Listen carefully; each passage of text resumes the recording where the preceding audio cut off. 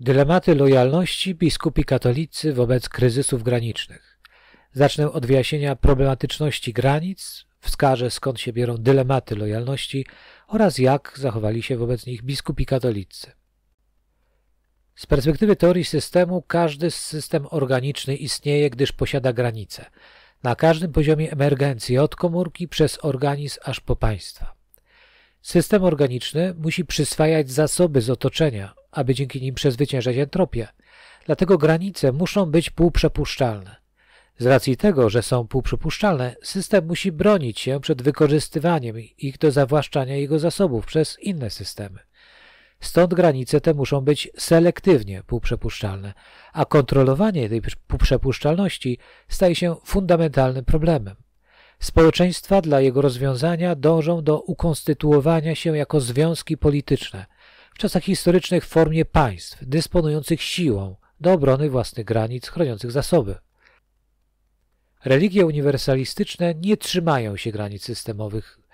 Tworzą organizacje je przekraczające sanga, kościół czy umma i z tej racji mogą być problematyczne. W przypadku chrześcijaństwa dochodzi jeszcze opisany przez Maxa Webera etyczny problem z politycznością. Państwo to organizacja monopolizująca prawomocną przemoc na danym terytorium. Tymczasem Jezus pozostawił jedynie maksymy etyczne o wydźwięku apolitycznym, antypolitycznym, a najczęściej pacyfistycznym. W odróżnieniu od Muhammada nie był liderem żadnej wspólnoty politycznej, nie rozwiązywał problemów politycznych. Chrześcijaństwo, zaczynając jako wspólnota outsiderów, musiała stopniowo wypracować rozwiązania tego problemu. Najpierw od Pawła Starsu odpowiedzieć na pytanie, jak chrześcijanin ma być poddanym. Potem, dzięki Eusebiuszowi, nadwornemu teologowi Konstantyna, jak być władcą. I wreszcie w czasach nowożytnych, jak być obywatelem czy politykiem. Katolicka nauka społeczna stopniowo wypracowała rozwiązanie godzące chrystianizm z wymogami polityczności. Uznawała władzę polityczną i stosowaną przez nią przemoc jako nieuchronną konsekwencję grzechu pierworodnego, jednocześnie próbując ją cywilizować poprzez moralność chrześcijańską. Od Jana XXIII, a zwłaszcza od Soboru Watykańskiego II, rozpoczęła się zmiana paradygmatu – z narastającym znaczeniem pacyfizmu na fali traumy po II wojnie światowej, humanitaryzmu w związku z problematycznością dla nowej teologii grzechu pierworodnego i moralizmu w związku z wypchnięciem tomizmu przez personalizm i egzystencjalizm w teologii pozostawało redukowanie problemów społecznych do problemów etyki jednostkowej. Najsilniej tendencje te uwidoczniły się w przypadku papieża Franciszka. fundamentalnym dla jego nauczania społecznego dokumencie encyklice Fratelli Tutti, ale także w wielu licznych wypowiedziach czy dokumentach niższej rangi uwidaczniają się wszystkie te tendencje. Przedstawię dla ilustracji kilka cytatów. Typowym zabiegiem dla niego jest redukcja zjawisk społecznych do konkretnych osób, a także odwoływanie się do abstrakcyjnej ludzkości, czyli wzbijanie się na poziom wyżej, ponad społeczeństwami konkretnymi. Dużo kontrowersji wzbudza jego podważanie zasadności pojęcia wojny sprawiedliwej, czasem również w nowszym sformułowaniu prawa do samoobrony. Często spotykamy się u niego z demonizowaniem broni. Szczególną niechęć wzbudza w nim handel bronią, w którym upatruje jedno z głównych źródeł wojny. Wojny wydają mu się czymś archaicznym, co powinno być przezwyciężone, czyli wierzy w możliwość końca historii i widzi w nim cel, do którego należy dążyć. Te wypowiedzi wybrzmiewają jednak w konkretnym kontekście politycznym, np. oporu Niemiec, Hiszpanii czy Włoch przed finansowaniem swojej armii, mają więc polityczne znaczenie. Pojęcie granicy funkcjonuje u niego w zasadzie tylko w negatywnych kontekstach, jako coś, co trzeba przekroczyć, również w odniesieniu do krajów.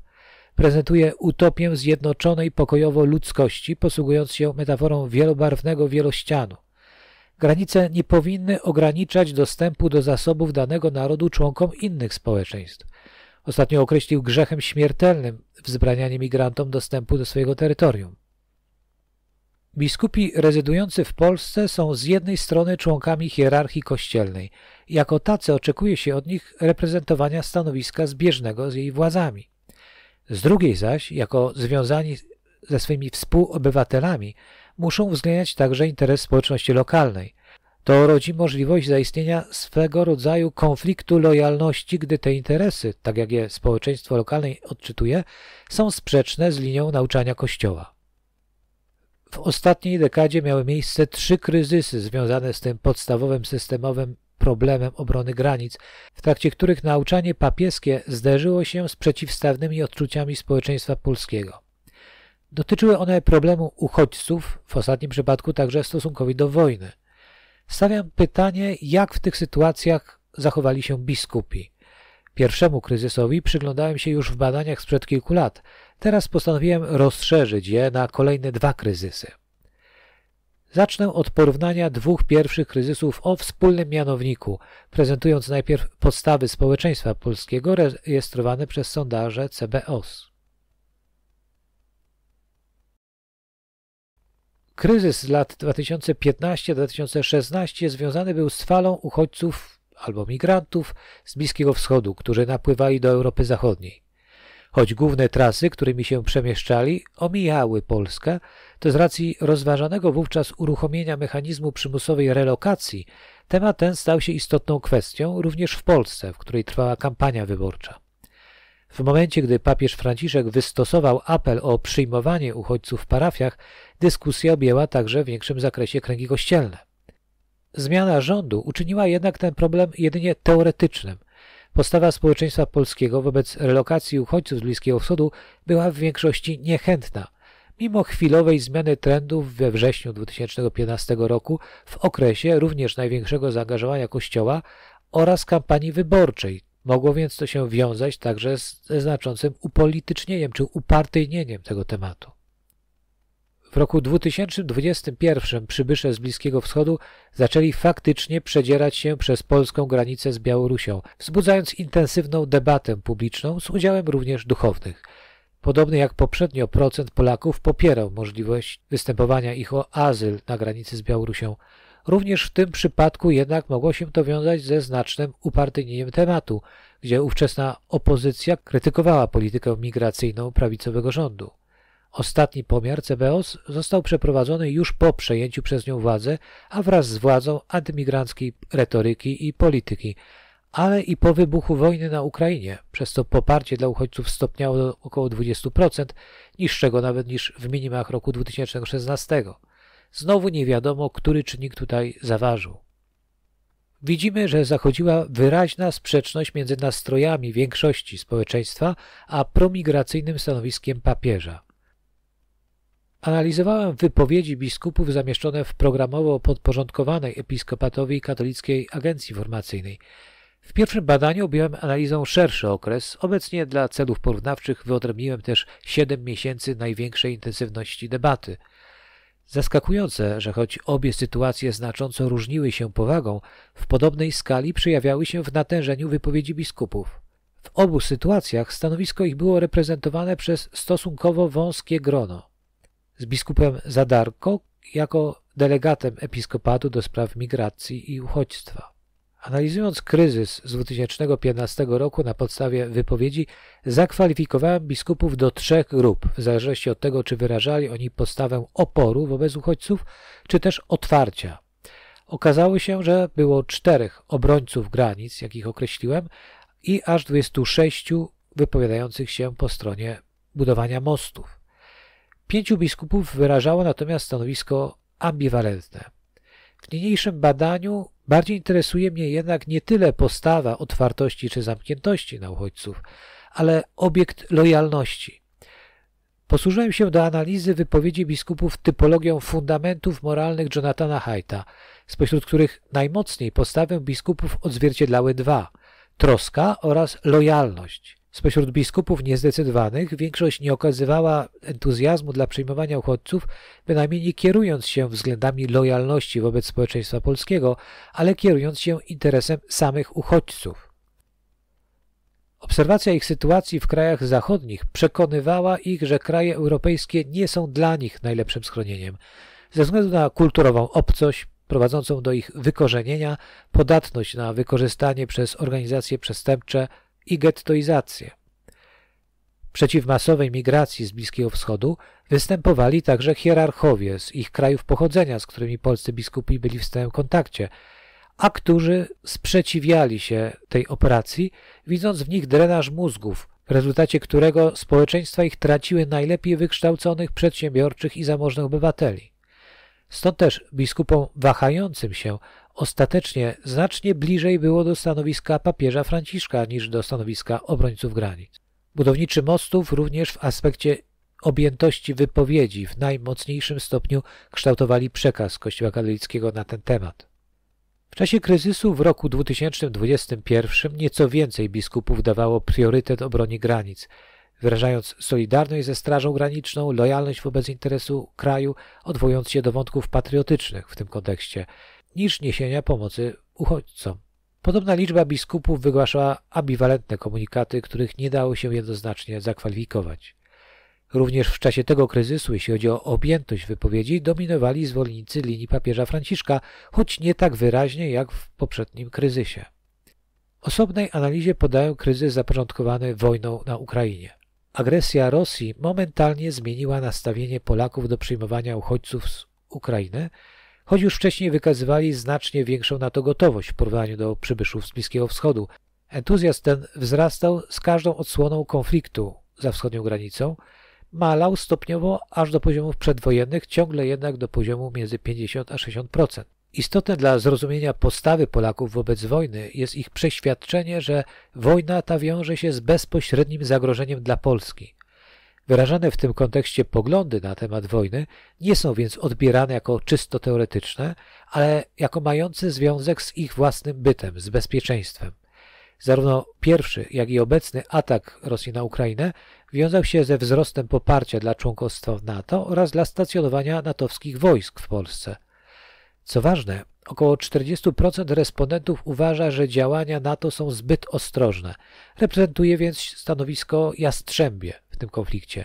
Nieco więcej uważa, że są wystarczające, natomiast postawę gołębią, przekonanie, że są za daleko idące, podziela jedynie kilka procent. Jastrzębią postawę większość respondentów reprezentowała również w odpowiedzi na pytanie o postulowany cel działań wojennych. Większość uważała, że nie należy iść na żadne ustępstwa wobec Rosji, nie należy wymieniać pokoju za terytorium. Respondenci również jednoznacznie identyfikują sprawcę konfliktu, w większości imiennie wskazując na Putina, ewentualnie elity polityczne Rosji. Dylemat między nauczaniem papieskim a opinią społeczną w Polsce nie dotyczył w tym wypadku kwestii uchodźców. Polacy zademonstrowali zaskakującą otwartość na uchodźców z Ukrainy. Rozbieżność dotyczyła kwestii związanych z samą wojną, papieskim nauczaniem na temat konfliktu oraz jego działaniami w odniesieniu do jego stron. Również tu analizowałem depeszę Katolickiej Agencji Informacyjnej. Duża część wypowiedzi dotyczyła pomocy dla uchodźców z Ukrainy i sposobów jej organizowania. Kwestia ta nie była kontrowersyjna, więc się na niej nie skupiałem. Analizowałem dużo dłuższy okres, stąd nie dziwi, że i więcej biskupów zdążyło zabrać głos. Widać jednak, że dyskusja nie była w takim stopniu zdominowana przez wąskie grono oddelegowanych reprezentantów. Głównymi kontrowersyjnymi kwestiami w postawie papieża była jego powściągliwość w jednoznacznym potępieniu agresorów, co wielu interpretowało jako formę symetryzmu. Następnie w konkretnej sytuacji niesprowokowanej agresji niezrozumiałe było odrzucenie przez niego pojęcia wojny sprawiedliwej.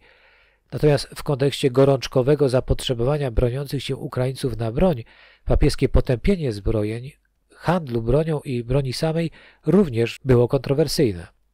Wreszcie niejednoznaczne pozytywne sygnały skierowane do samej Rosji czy Rosjan, wpisujące się w starą watykańską tradycję Ostpolitik, nie mogły zyskać entuzjazmu w społeczeństwie polskim. Jak wobec tych kwestii ustosunkowali się biskupi polscy? Jedynie pojedyncze głosy da się, naciągając, zakwalifikować jako podążające w tych kontrowersyjnych kwestiach za linią papieża Franciszka. Biskupi w większości wyrażali stanowisko zbieżne z odczuciami społecznymi oraz bardziej tradycyjnym nauczaniem Kościoła katolickiego. Owe trzy głosy, które wspominały o pojęciu wojny sprawiedliwej i cytowały stanowisko papieża odrzucające to pojęcie, wygłoszone przez jednego biskupa, arcybiskupa Gondeckiego, nie były wyrazem jednoznacznego poparcia dla obecnego stanowiska papieża, raczej się od niego dystansowały. Podobnie osiem wypowiedzi, w których biskupi negatywnie wypowiadali się o broni, miało charakter raczej metaforyczny, czysto teologicznego obrazowania niż potępienia aktualnych działań rządu czy państw zbrojących Ukrainę. Wobec publicznej krytyki papieża Franciszka, również przez katolickich publicystów, kilku biskupów wystąpiło w jego obronie, dokonując to odpolityczniając jego stanowisko, interpretując go w kategoriach abstrakcyjnych, metafizycznych, ogólnych, a przede wszystkim odwołując się do jego autorytetu jako następcy Piotra. Widzimy, że w sytuacji, gdy im bardziej kryzys uzyskuje charakter egzystencjalnego zagrożenia, tym mniejszy rezonans wywołuje utopijne nauczanie papieskie w kontrowersyjnych kwestiach. Co istotne, o ile w nauczaniu papieskim da się dostrzec dominację odwołań do fundamentów etycznych wolności w postaci postulatów likwidowania nierówności, sprzeciwu wobec dominacji bogatych, potężnych, inspirowanych teologią wyzwolenia w dużej mierze, to w wypowiedziach biskupów wątki te stosunkowo rzadko znajdują oddźwięk. Dominuje natomiast oparcie o fundament troski. Stosunkowo nieliczni są jednak w stanie altruistycznie poświęcić dlań interes własnego społeczeństwa w sytuacji, gdy jest on poważnie zagrożony. W ostatnim kryzysie troska, kierowana uprzednio w stosunku do migrantów, uległa przekierowaniu na faktycznych uchodźców z Ukrainy.